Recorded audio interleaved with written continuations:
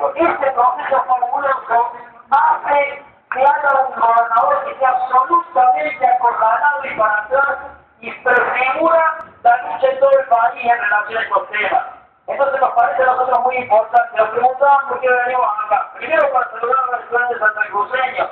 Y en segundo lugar para decirles a todos los que escuchen que la lucha de Santa Cruz es la lucha de la República Argentina, la lucha de los es la lucha de los docentes pues, que coge lo mejor de la tradición que los compañeros de Santa Cruz, bajo el frío, bajo la brillanza, bajo el presentismo, bajo el recuerdo de la camioneta de Barizán, bajo el recuerdo de la patota de la vuelta en el pueblo, hacen levantar